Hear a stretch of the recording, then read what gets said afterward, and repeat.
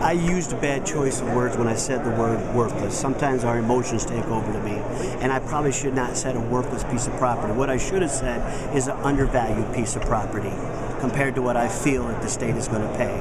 I might as well put this out there right now. I strongly feel that the state, state already owns millions of acres of property that we are not taking care of and we are not maintaining at the present time. We are talking about privatizing our state parks and other things simply because we cannot afford the maintenance and the upkeep.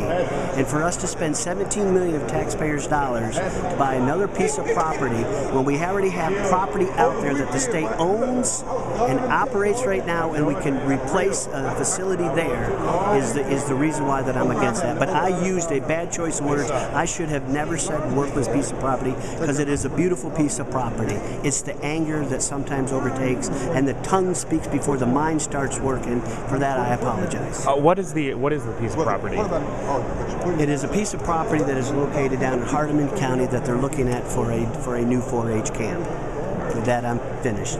Thanks. So a comment was made on the floor this morning regarding a, uh, the $17 million piece of worthless property, and uh, unfortunately, uh, it's not worthless and it's not $17 million. So there's a couple of things there that are uh, a fallacy.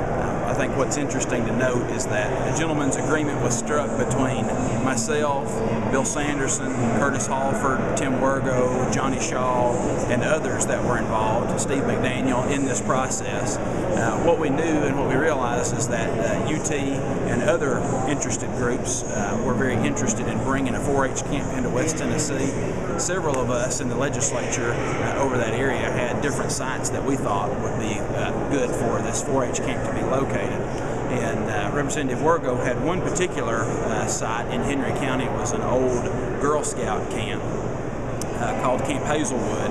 And we all made this agreement with one another that ultimately the most important thing wasn't that it came to our individual districts, but that it came to West Tennessee and that we were mutually supportive no matter where the camp landed. Uh, unfortunately, Tim hasn't kept his end of that bargain. And uh, I feel like there'd probably be a very different statement made in there today uh, were it Camp Hazelwood selected as the site for this camp.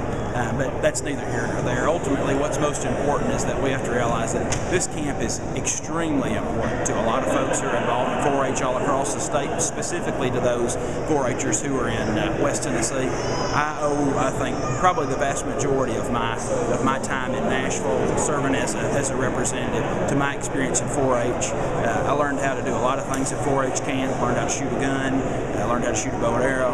Learned parliamentary procedure. Learned lots of different things. And, and for us uh, to negate that opportunity with selfish comments on the floor of the House, I think is uh, foolish, and I think it's also uh, it impugns the character of those folks who selected that site. And I'll have comments about that group of folks who selected that site on Monday because I think he offended a lot of people uh, when he made those statements. He offended me, and he offended Johnny Shaw.